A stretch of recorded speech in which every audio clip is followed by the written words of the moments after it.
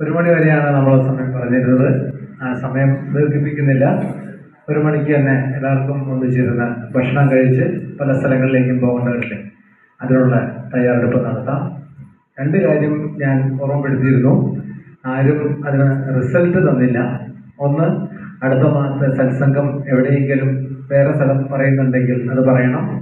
രണ്ട് നമ്മുടെ mega programme പതിമൂന്നാം തീയതിയിലത്തെ പ്രോഗ്രാം എവിടെയെങ്കിലും ആരുടെയെങ്കിലും മനസ്സിൽ ഒരു പ്ലേസ് ഉദ്ദേശിക്കുന്നുണ്ടെങ്കിൽ അത് പറയണം അതിന്റെ തയ്യാറെടുപ്പ് നടത്തേണ്ടതാണ് എന്ന് ഞാൻ ഒന്നുകൂടി ഓർമ്മപ്പെടുത്തുകയാണ്. പിന്നെ സുദർശൻജി പറഞ്ഞതുപോലെ ഒരു അനുഭവം പറയാനും എന്ന് പറയുമ്പോൾ അനുഭവം ആണ് ജീവിതം. ഞാൻ മനസ്സിലാക്കുന്നത് അങ്ങനെയാണ്. നമ്മുടെ ഓരോ നിമിഷവും നമുക്ക് തരുന്നത് ഭഗവാന്റെ ഗ്രേസാണ് ഇത് പല ഭാവത്തിലും പല രൂപത്തിലും നമ്മളിലേക്ക് വന്നു ചേരും. നമ്മളത് എങ്ങനെ സ്വീകരിക്കുന്നു എന്നുള്ളതാണ് ഇതിന്റെ മുഖ്യമായ കാര്യം ഞാൻ പഠിച്ചെടുത്തോളം. പെട്ടെന്നത് പറയുമ്പോൾ ഞങ്ങൾക്കുണ്ടായൊരു അനുഭവം ഒന്ന് ഷെയർ ചെയ്തേക്കാൻ എന്തായാലും. അപ്പോൾ പറയുന്നത് കൊണ്ടാണ്. ഞങ്ങൾ വളരെ യാദൃശ്ചികമായിട്ട് ആദ്യത്തെ സത്സംഗത്തിലാണ് പരിചയപ്പെട്ടത്. അതിനുശേഷം ഈ മാസം വർഷങ്ങളായിട്ട് ശബരിമലയ്ക്ക് നേരത്തെ പോയിക്കൊണ്ടിരുന്നതാണ്. ഒരു ഇടവേള വന്നു.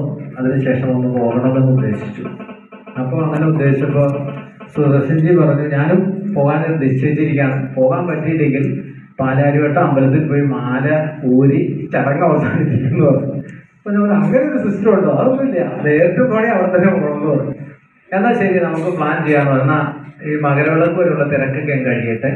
തിരക്ക് കഴിഞ്ഞിട്ട് നമുക്ക് ഗുരുതി പോകാമെന്ന് പറഞ്ഞു വിളക്ക് കഴിഞ്ഞ് നാല് ദിവസം കൂടി കഴിഞ്ഞ് പത്തൊമ്പതാം തീയതിയാണ് ഗുരുതി.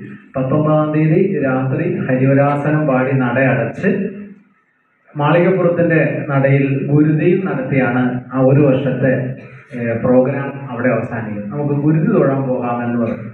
ശരി പോകാം. ഇട ദിവസമാണ്. അപ്പൊ ഞാൻ എനിക്ക് ആദ്യം ഒരു ആശങ്ക ഉണ്ടായി കട ഉള്ള ദിവസമാണ് കട അടച്ച് പോകാൻ പറ്റില്ല. ഞാൻ നോക്കിയപ്പോൾ ഒരു ദിവസം കാര്യം കുഴപ്പമില്ല. മോഹൻദാസിനെയും കടയേൽപ്പിച്ചിട്ട് ഞങ്ങൾ പോവുകയാണ് ഉണ്ടായത് വളരെ സുഖമായിട്ട് നമ്മുടെ കാലിൽ തന്നെ ഞങ്ങൾ അഞ്ചു പേര് കഴിഞ്ഞ സത്സംഗത്തിലുണ്ടായിരുന്നു. മോഹൻജിയും ശശി. പിന്നെ ഒരു പുതിയൊരാൾ കോട്ടപ്പടി തന്നെയുള്ള ആളാണ്. ഞങ്ങൾ രണ്ടുപേരും. അങ്ങനെ അഞ്ചു പേര് കൂടി യാത്ര പോയി. സുഖമായിട്ട് ഒരു തിരക്കൂല ഒരു നടന്ന് മലയിൽ ചെന്നു. ഭഗവാൻ സുഖമായിട്ട് കണ്ടു. ദർശനം ദർശനമൊക്കെ കഴിഞ്ഞ് പുറത്തു വന്നു. വിശ്രമിച്ചു അപ്പോൾ വൈകുന്നേരം ഒന്ന് തൊഴാം. ദീപാരാധനയ്ക്ക് തൊഴാം. അപ്പോൾ അവർക്ക് എക്സിക്യൂട്ടീവ് ഓഫീസറെ നമ്പർ ഉണ്ടായിരുന്നു വിളിച്ചപ്പോൾ കിട്ടിയില്ല. അദ്ദേഹത്തിന്റെ പേര് തന്നെ പറഞ്ഞ് ഞങ്ങൾ സ്റ്റാഫിന്റെ ലൈനിൽ കൂടി മുകളിൽ കയറി സുഖമായിട്ട് തൊഴുത്ത് ഭക്ഷണമൊക്കെ കഴിച്ച് സന്നിധാനത്തിന്റെ അപ്പുറത്ത് നമ്മുടെ മാളികപ്പുറത്തിന്റെ അടുത്ത് വിശ്രമിക്കുകയാണ്. അപ്പോൾ നമ്മൾ ആദ്യം മാളികപ്പുറത്തിനാണ് തൊഴാൻ ചെന്ന് കഴിഞ്ഞപ്പോൾ മാളികപ്പുറത്തിന്റെ തിരുനടയിൽ പിറകിലായിട്ട് അവിടെ ഒരു മരം നിൽക്കുന്നുണ്ട്. ആ മരത്തിന്റെ ചുവട്ടിൽ ഒരു ചെറുപ്പക്കാരൻ ഇരുന്ന് ധ്യാനി മെഡിറ്റേഷൻ ധരിച്ച് വളരെ ഭംഗിയായിട്ട് മെഡിറ്റേഷൻ അപ്പൊ ഞാനൊന്ന് ശ്രദ്ധിച്ചു. ഒരു മണികണ്ഠനെ പോലെ നമ്മൾ ചിത്രത്തിലൊക്കെ കാണുന്ന പോലെ മണികണ്ഠനെ പോലെ ഉണ്ട് ഒരാൾ. ഞങ്ങളൊന്ന് ശ്രദ്ധിച്ച് ഞങ്ങൾ കുറച്ചു നേരം അവിടെ ഇരുന്ന് മെഡിറ്റേഷനൊക്കെ കഴിഞ്ഞു. അതെല്ലാം കഴിഞ്ഞ് രാത്രി ഈ ഹരിവരാസനം പാടി നടയടച്ചു ഗുരുതി നടന്നു. ഗുരുതി എല്ലാം കണ്ട് വളരെ സുഖമായിട്ട് തൊഴുത് ഒരു സ്ഥലത്തുനിന്നും ഒരു രൂപ പോലും കൊടുക്കാൻ പ്രസാദം കിട്ടും ദക്ഷിണ എന്തെങ്കിലും കൊടുക്കണമല്ലോ ഒരു ദക്ഷിണയും കൊടുക്കാൻ ആദ്യമായിട്ട് പ്രസാദം കൊടുത്ത സ്ഥലം ശിവന സന്നിധാനം മാളികപ്പുറത്ത് ഗുരുതി നടന്ന മണിമണ്ഡപത്തിൽ നിന്നാണ്. ആ ഗുരുതി കഴിഞ്ഞു കഴിയുമ്പോൾ ഗുരുതി നടത്തിയ ആളുകളെല്ലാവരും അതിനകത്തേക്ക് കയറും. കത്തനിടും അത് കഴിഞ്ഞാൽ എന്തെങ്കിലും അഴിയുക ആ അഴിയുടെ കൈ ഇട്ട് കഴിഞ്ഞാൽ കൈ ഇടുന്നവർക്ക് എല്ലാവർക്കും ഗുരുതി പ്രസാദം കിട്ടും. അതാണ് സംഭവിച്ചത്. ഞങ്ങൾ എല്ലാവരും ഗുരുതി പ്രസാദം മേടിച്ച് തിരിച്ച് ഗുരു കഴിഞ്ഞാൽ നിൽക്കാൻ പാടില്ല. എല്ലാം തടയടച്ച് ഞങ്ങൾ എല്ലാവരും കൂടി കൂടി പുറത്തേക്ക് ഇറങ്ങി മല ഇറങ്ങി ഏതാണ്ട് പമ്പയിലേക്ക് എത്താൻ പോകുന്നു. അപ്പോൾ ഞാൻ ജസ്റ്റ് ഒന്ന് സമയം ചോദിച്ചു. അങ്ങനെ സമയം നോക്ക സമയം നോക്ക. പന്ത്രണ്ട് പതിനൊന്ന് അമ്പത്തൊമ്പത്. രാത്രി പതിനൊന്ന് അമ്പത്തൊമ്പത്. ആ സമയത്ത് ഞങ്ങളുടെ അടുത്തേക്ക് ഒരാൾ വന്ന് ചേരുക. എല്ലാവരും മലയ്ക്ക് പോകുന്നുണ്ട്. മലയാത്ര കഴിഞ്ഞ് വന്നു കഴിഞ്ഞാൽ ഇതെല്ലാം ആളുകൾ ഉപേക്ഷിക്കും. പിന്നെ തോന്നി പോകുന്ന ജീവിതമെന്ന്. അങ്ങനെ പറഞ്ഞുകൊണ്ട് ഒരാൾ ഞങ്ങളുടെ കൂടെ ചേരുകയാണ്. അപ്പൊ എന്താ അങ്ങനെ പറഞ്ഞതെന്ന് ചോദിച്ചു ഞാൻ പറഞ്ഞു ഇതൊരു ചടങ്ങിന് വേണ്ടി എല്ലാവരും ചെയ്യുന്നതാണ്. അതിനൊത്താണ് ദേവസ്വം ബോർഡ് നിൽക്കണേന്ന് പറയുന്നത് അപ്പോൾ ഞങ്ങൾ ചോദിച്ചു ശരിയാണ് പറഞ്ഞത് ശരിയാണ്. ആ ചടങ്ങിന് മാത്രം ആചരിക്കുന്നു അതിനുശേഷം ആചരണമില്ല. അതിന്റെ അപാകതയാണ്. കാരണം വെജിറ്റേറിയൻ ആകാൻ പറ്റൂലല്ലോ അതുകൊണ്ടാണ് കാരണം. അപ്പൊ നമുക്ക് മനസ്സിലായി. പറഞ്ഞു വരുന്ന കാര്യം. അങ്ങനെ അദ്ദേഹമായിട്ട് സംസാരിച്ചപ്പോ ഗുരു കോഴിക്കോട്. അദ്ദേഹം കോഴിക്കോട് പന്തീരങ്കാവ്. ഭഗവതി ക്ഷേത്രത്തിലെ മേൽശാന്തിയാണ്. ചണ്ഡികാ ദേവിയാണ് അവിടുത്തെ പ്രതിഷ്ഠ. ഗുരുതി കണ്ട് തൊഴുതോന്ന് ചോദിച്ചു. ഉവ ഗുരുതി കണ്ട് തൊഴുതു. എങ്ങനെയുണ്ടായിരുന്നു ഗുരുതി എന്ന് ചോദിച്ചു. വളരെ അനുഭവമായിരുന്നു. അവിടെ ഇരുന്ന് മണിമണ്ഡപത്തിൽ ഇരുന്ന് ധ്യാനിച്ചു. ഉവ്വ ഞങ്ങൾ മണിമണ്ഡപത്തിൽ ധ്യാനിച്ചു.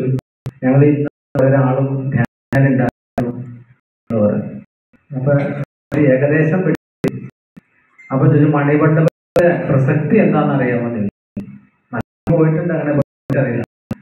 മണിമണ്ഡപത്തിൽ സമാധിയായിരുന്നു അയ്യപ്പൻ സമാധിയായി അയ്യപ്പൻ സമാധിയായ സ്ഥലമാണ് മണിമണ്ഡപം. അവിടെ ആത്മാവ് ശാസ്താവിലേക്ക് ലയിക്കുകയാണ് ശബരിമലയിൽ നമ്മൾ അഭിഷേകം ചെയ്യുന്ന ആ വിഗ്രഹത്തിനാൽ ശ്രേഷ്ഠം മണിമണ്ഡപമാണ് തന്റെ സമാധി സ്ഥലമാണ്. അവിടെ ഇരുന്നാണ് മെഡിറ്റേഷൻ ചെയ്യേണ്ടത്. അവിടെ മെഡിറ്റേഷൻ ചെയ്യാൻ അതിന് പവർ കൂടുതലായിരിക്കണം. അദ്ദേഹം നമ്മളോട് പറഞ്ഞു ചണ്ഡികാദേവി അപ്പൊ ഞാൻ സുദർശനോട് ഞാൻ പറഞ്ഞ സമയം നോക്കാൻ പറഞ്ഞു പന്ത്രണ്ട് മണി കഴിഞ്ഞല്ലോ.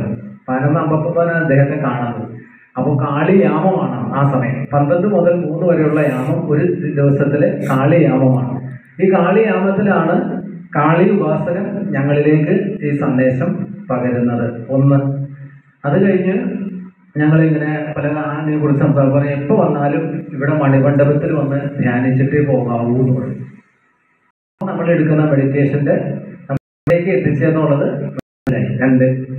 അപ്പോൾ അദ്ദേഹം പറഞ്ഞു ഇരുന്ന് ധ്യാനിക്കണം. വേറെ ഒന്നും ചെയ്തില്ലെങ്കിലും വേറെ ഒരു ചെയ്തില്ലെങ്കിൽ ഇവിടെ വന്ന് ധ്യാനിച്ചാൽ മതി എന്ന് പറഞ്ഞു അത് കഴിഞ്ഞ് ഞങ്ങൾ സംസാരത്തിലേക്ക് പോന്നു കഴിഞ്ഞപ്പോൾ എന്നെ പറഞ്ഞത്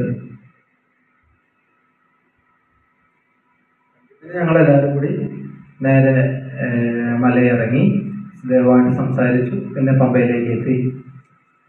നമ്മൾ എല്ലാവരും കൂടി നമുക്കൊരു കട്ടൻ പിരിയാമെന്ന് പറയാണ്.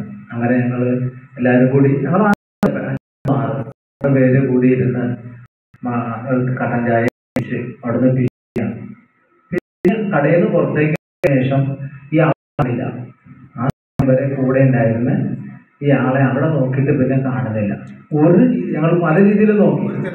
ഒരു തിരക്കൂല ആ സമയത്ത് അങ്ങനെ വലിയൊരു അനുഭവം നമ്മൾ. കാരണം നമ്മളെ എവിടെ എത്തിച്ചേർന്ന് ഒന്നുകൂടി അതെ അപ്പൊ അതിനിടയ്ക്ക് സംസാരിച്ച് ഞാൻ മറന്നുപോയ കാര്യമാണ് ദിവസമായി മലയിൽ വന്നിട്ട് അദ്ദേഹം പറഞ്ഞു ഞാൻ എല്ലാ വർഷവും ഗുരുതിക്ക് വരുള്ളൂ അഞ്ച് ദിവസമായി.